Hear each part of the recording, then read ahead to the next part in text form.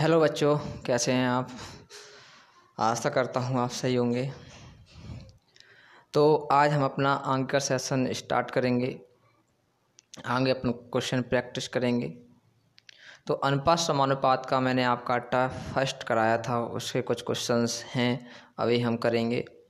और आगे type second देखेंगे। चलिए हम चलते हैं अपने क्वेश्चन की तरफ़। आप यहाँ देखें। क्वेश्चन आपका लिखा है। आपका क्वेश्चन लिखा है, सिक्स। क्या लिखा है? ए अनुपात बी दो अनुपात तीन है। ए और बी की वैल्यू कितनी है? दो अनुपात तीन है। यहाँ देखा बी अनुपात सी की वैल्यू है, तीन अनुपात सात। तब आपको बताना क्या है? ए प्लस बी अनुपात B plus C A plus B अनुपात बी प्लस सी का मान क्या होगा? इसकी वैल्यू क्या होगी? बहुत ही सिंपल है। पहले आप अपन क्या करेंगे? पहले आप पड़ोसी ट्रिक से निकालोगे ए बी सी की वैल्यू क्योंकि यहाँ पे ए बी दो अनुपात तीन है और बी सी तीन अनुपात सात है। तो आपने यहाँ देखा, आप वैल्यू निकालोगे ए अनुपात बी अनुपात सी ए बी की वैल्यू कितनी लिखी है? Two ratio three B C की वैल्यू कितनी है? थ्री रेशियो सेवन तीन अनुपात सात। लिखी हुई है आपको दिख रहा है। आगे आप देखोगे, दो जगह खाली हैं आपकी। तो इसमें से आप तीन तो यहाँ भर दोगे, पड़ोसी, सी का पड़ोसी कौन है? बी, और यहाँ ए का पड़ोसी कौन है? बी तो तीन यहाँ आ जाएगा आपका। थ्री थ्री आपने भर दिया, ऐसा ही है? हाँ। तो आप इसमें देख सकते हैं, ए की वैल्यू देखोगे थ्री तीन दूनी छः।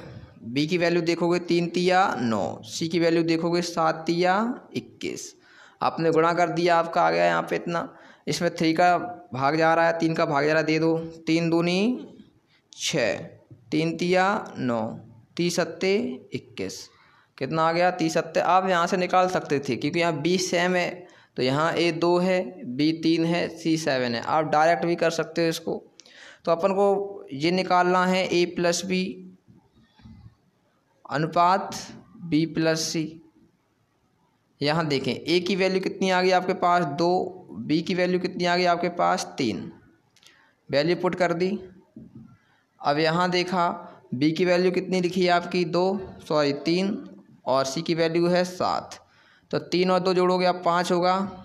सी और आपका बी और सी की वैल्यू जोड़ोगे, कितना होगा? दस होगा। अब देखो, अभी आप प्रॉपर अनुपात में नहीं है तो काट दो इसको।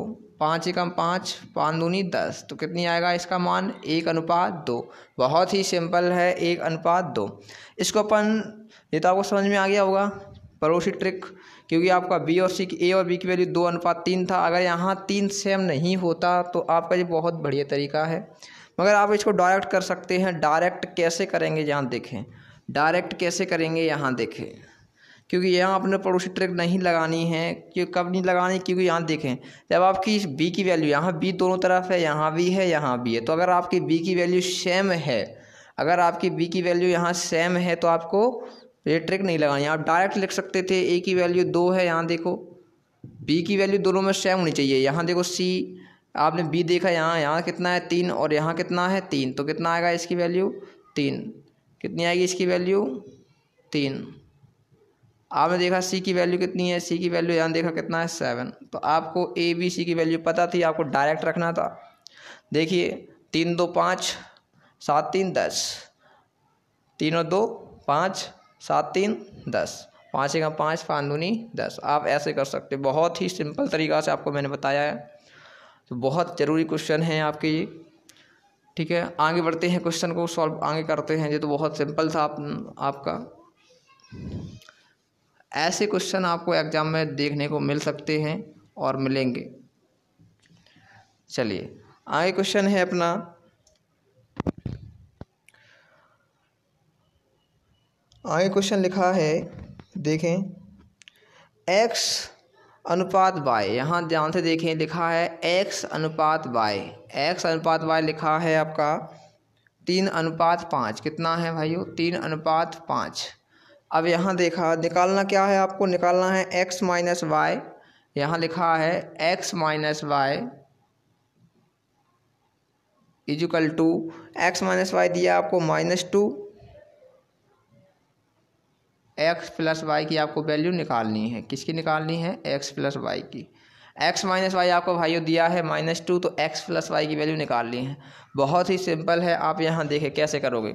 आपको एक्स और वाई की वैल्यू लिखी है आपको यहाँ आंसर माइनस में आ रहा है तो आप यहाँ देखें एक्स वाई आप इसमें वैल्यू पुट करके देखें। एक्स माइनस वाई आपके दोनों बराबर होने चाहिए तो एक्स की वैल्यू कितनी है? तीन वाई की वैल्यू कितनी है? पाँच। अगर आप पाँच में से दो घटाओगे, माइनस का बड़ा है तो माइनस के पाँच में से तीन जाएगा, क्या बचेगा? माइनस का दो। क्या बचेगा? माइनस का दो।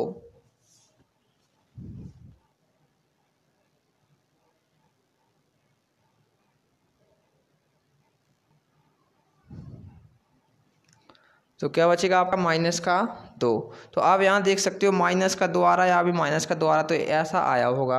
तो अब एक्स प्लस वाई की वैल्यू चाहिए तो आप यहाँ देखें एक्स प्लस वाई की। तो एक्स प्लस वाई तो आपने यहाँ देखा एक्स की वैल्यू कितनी है? तीन। वाई की वैल्यू कितनी है? पाँच। जोड़ दो कितना आएगा? आठ। कितना आएगा? आठ। आप जे पूछा था तो आपका आंसर सही है। जिस सी एच एस एल दो हज़ार सत्रह में पूछा गया क्वेश्चन है S S C C H S L में पूछा गया क्वेश्चन है आपका।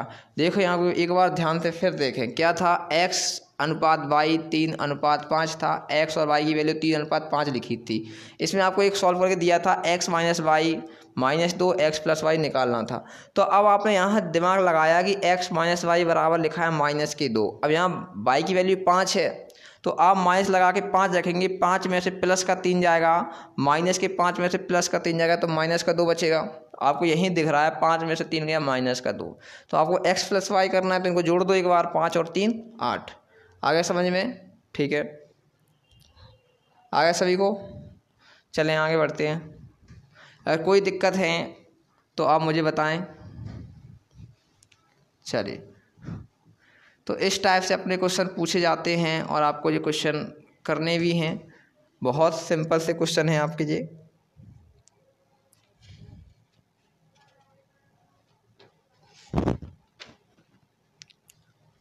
अब आपका एक क्वेश्चन लिखा है, देखें। देखिए ए अनुपात बी क्या लिखा है? ए अनुपात बी ए अनुपात बी बराबर लिखा है आपका। बराबर सी अनुपात डी। और बराबर यहाँ क्या लिखा है? पाँच। तब निकालना क्या आपको? तब देन क्या सॉल्व करना है आपको? Three A plus four C आपको निकालना है three A plus four C upon three B three B plus four D.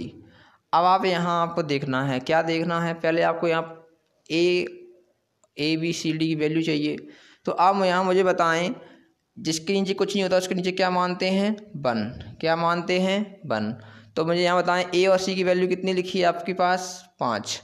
B और डी की वैल्यू कितनी है? एक। तो आप यहाँ मैं आपको लिख देता हूँ ए अनुपात बी अनुपात सी अनुपात डी तो ए बी की ए और सी की वैल्यू कितनी है? पाँच है। कितनी है? पाँच पाँच। बी और सी की सी और डी की वैल्यू कितनी है? एक एक। आपको यहीं दिख रहा है। ठीक है?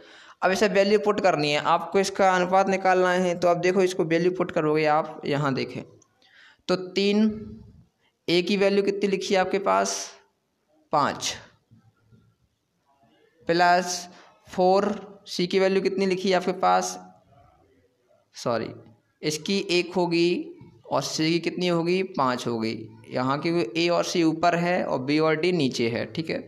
अब यहाँ देखा सी की वैल्यू कितनी है आपके पास? पाँच। कितनी है? पाँच। नीचे देखें, तीन। बी की वैल्यू कितनी लिखी है? एक। प्लस आपके पास डी की वैल्यू कितनी है? एक। डी की वैल्यू कितनी लिखी है बच्चों? एक। तो अब आपको यहाँ करना क्या है? यहाँ देखिए, तीन का पाँच में गुणा करना है प्लस चार का पाँच में करना है। तो आप यहाँ देखिए, गुणा को मल्टीप्लाई करते हैं। पाँतिया पंद्रह, चार पंचे बीस। और नीचे यहाँ देखा, तीन एकम तीन, चार एकम चार। आएगा? अब यहाँ इनको ऐड कर दो। अगर आप ऐड करोगे तो आपका आंसर देखें, बीस और पंद्रह ऐड करोगे, कितना होता है आपका? शायद पैंतीस होता है। कितना होता है? पैंतीस होता है जी आएगा पच पंद्रह, चार, पंचे, बीस। ठीक है बच्चों? और यहाँ आप नीचे ऐड करोगे कितना आएगा? पाँच, चार, नौ। कितना आएगा? नौ। आपका डिवाइड जाएगा डिवाइड नहीं जाएगा। तो आपका यही आंसर होना चाहिए इसका।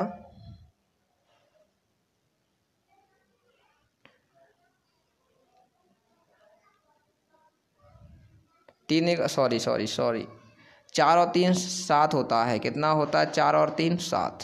सात से डिवाइड दो, कितना आएगा? सात पना पैंतीस। कितना आंसर आएगा? पाँच।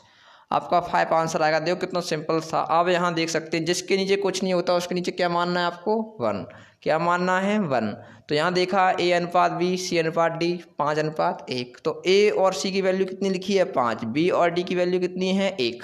तो आपको क्या करना है? ये आपको सब पता है। ये लिखने की ज़रूरत नहीं है आपको। अगर आता है तो मत लिखो।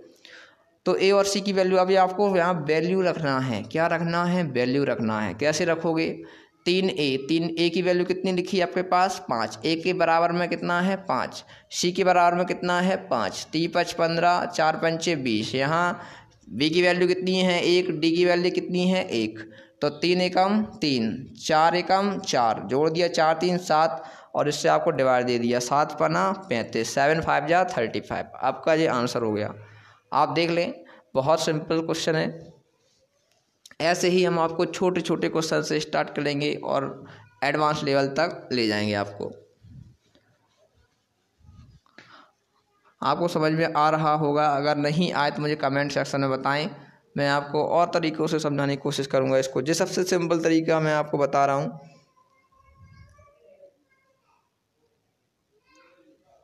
इसके पास मेरे, इसके बाद मेरे पास एक क्वेश्चन लिखा है, पच्चीस। नाइन नंबर का क्वेश्चन है ट्वेंटी फाइव ट्वेंटी फाइव की पावर लिखा है टू पॉइंट फाइव रेशियो आपको कितना लिखा है? पाँची घात दो। सॉरी पाँची घात तीन। किसके बराबर है? किसके बराबर है। अब यहाँ देखें, इसको सॉल्व करना है, ये टू पॉइंट फाइव है। तो पहले आप यहाँ देखें, पच्चीस को मैं कैसे लिख सकता हूँ? पाँच पे घात दो लिख सकता हूँ या नहीं? देखो, मैं बिल्कुल सिंपल से समझाता हूँ आपको। पचम पच्चीस को ऐसे लिख सकता हूँ, पाँच गुड़ा पाँच, या नहीं लिख सकता, आप बताएँ। अगर पच्चीस को अब पाँच पे घात तो मैं दो ऐसे लिख सकता हूँ, इसको पाँच पे घात दो कि पाँच दो बार है, इसलिए पाँच पे घात दो। टू पॉइंट फाइव को मैं कैसे लिख सकता हूँ? यहाँ देखें। टू पॉइंट फाइव का या इसमें मल्टीप्लाई होता है, आपको पता है? इसका इसमें क्या होगा? मल्टीप्लाई अगर टू पॉइंट फाइव में दो का मल्टीप्लाई करोगे तो कितना आता है? तो ढाई का अगर दो बार आप मल्टीप्लाई कर दो तो पाँच आता है तो पाँच की घात कितनी आ जाएगी? पाँच। और बराबर पाँच पे घात तीन। तो आप यहाँ पाँच को पाँच बार लिख सकते हैं। पाँच गुणा पाँच मल्टीप्लाई पाँच मल्टीप्लाई पाँच मल्टीप्लाई पाँच। पाँच पावर है इसलिए पाँच बार लिख लिया पाँच पे पावर कितनी है? तीन। पाँच गुणा पाँच गुणा पाँच। आप इसको देखो, एक, दो, तीन। एक, दो, तीन। आपने देखा कितना बचा? पचम पच्चीस। और यहाँ कितना है? एक। कितना है? एक। तो पच्चीस अनुपात एक आपका आंसर रहेगा। एक बार और समझने का प्रयास करें, बहुत सिंपल है। पच्चीस टू पॉइंट फाइव अनुपात पाँच घात तीन जी लिखा था। किसके बराबर है? तो आपने यहाँ देखा पच्चीस को मैं लिख सकता हूँ, पाँच गुणा पाँच, और यहाँ पाँच घात तीन पहले से लिखा है। अब पाँच पे पाँच पे घात, अब आपके पाँच दो बार लिखे हैं तो पाँच दो बार लिखे हैं, इसलिए कितनी आएगी? पावर दो।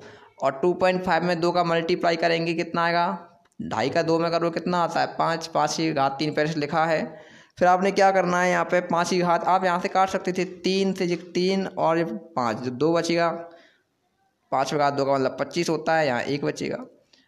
बचेगा नहीं बचेगा? तो आपने इसको ऐसे कर लिया, पाँच को पाँच बार लिख लिया, पाँच को तीन बार लिख लिया। तीन बार और तीन कट गए, कितने बचे? पाँच पाँच। तो पचम पच्चीस अनुपात एक। ये आपका आंसर है। ये आपका आंसर है। चलिए आगे बढ़ते हैं। समझ में आ गया होगा आपको? बहुत सिंपल क्वेश्चन है। चलिए। अब हम आपको क्वेश्चन नंबर बता रहे हैं, दस। देखें क्या है क्वेश्चन।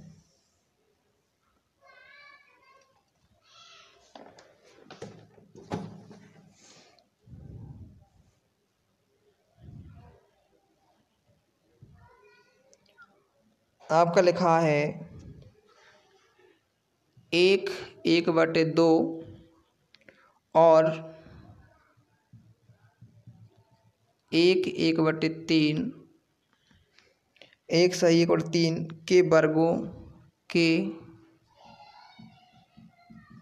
वर्गों के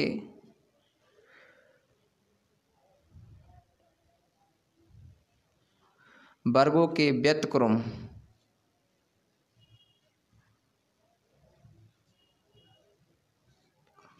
किस अनुपात में होंगे? किस अनुपात में होंगे? अब आप देखते कैसा क्वेश्चन है। एक सही एक बटे दो और एक सही एक बटे तीन के वर्गों के व्यतक्रम किस अनुपात में होंगे? तो हम इसको सॉल्व करते हैं। पहले इसको सॉल्व करो। दो एकम। आपको ये भिन्न मिश्र भिन्न को साधारण प्रॉपर भिन्न में, साधारण भिन्न में चेंज करना आता होगा। तो आप देखें दो एकम दो दो और एक, तीन बटे दो आएगा। आएगा, नहीं आएगा। और अनुपात मैंने यहाँ मान लिया, तीन एकम तीन और एक, चार बटे तीन। इनके वर्गों के व्यतक्रम किस अनुपात में होंगे? तो पहले इनका वर्ग करते हैं। तीन का वर्ग नौ होता है, दो का वर्ग कितना होता है आपका? चार। आप यहाँ देखा, चार का वर्ग होता है, सोलह, तीन का वर्ग होता है, नौ। आपको क्या करना है? उल्टा करना है। आप इनको उल्टे कर दें। तो चार बटे नौ।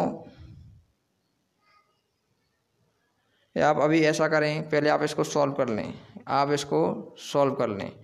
नौ का नौ में करोगे कितना आएगा? नौ का नौ मल्टीप्लाई होगा या नहीं होगा? नौ नंबर इक्यासी। सोलह चौको चौंसठ। है? अब इसको आपको क्या करना है? व्यतक्रम करना है। मतलब उल्टा करना है। तो एट्टी वन एक अपॉन सिक्सटी फोर तो ये यहाँ आएगा और एट्टी वन यहाँ आएगा तो sixty four upon eighty one आप इसको उल्टा करके लिख दें, वही आपका व्यतक्रम होता है। तो आपने पहले सॉल्व कर लिया, अब इसके व्यतक्रम, वर्गों की व्यतक्रम किस अनुपात में होंगे? तो वर्ग आ गया, वर्ग का व्यतक्रम किया तो एक बटे एट्टी वन और एक बटे सिक्सटी फोर तो वन अपॉन एट्टी वन और वन अपॉन सिक्सटी फोर इसका यहाँ क्रॉस मल्टीप्लाई होगा तो सिक्सटी फोर यहाँ आएगा एट्टी वन का मल्टीप्लाई यहाँ होगा तो एट्टी वन यहाँ आएगा। आपको ऐसे सॉल्व करना है। आप एक बार और देख सकते हैं। एक एक बटे दो और एक एक बटे तीन के वर्गों के व्यतक्रम किस अनुपात में होंगे?